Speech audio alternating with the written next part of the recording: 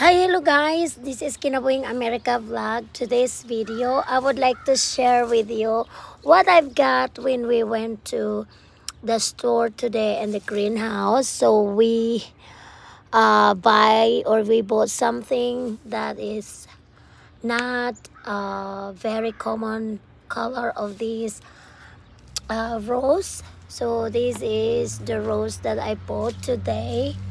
Okay, look at that so they call this one an angel face uh angel face uh rose. So this is the color.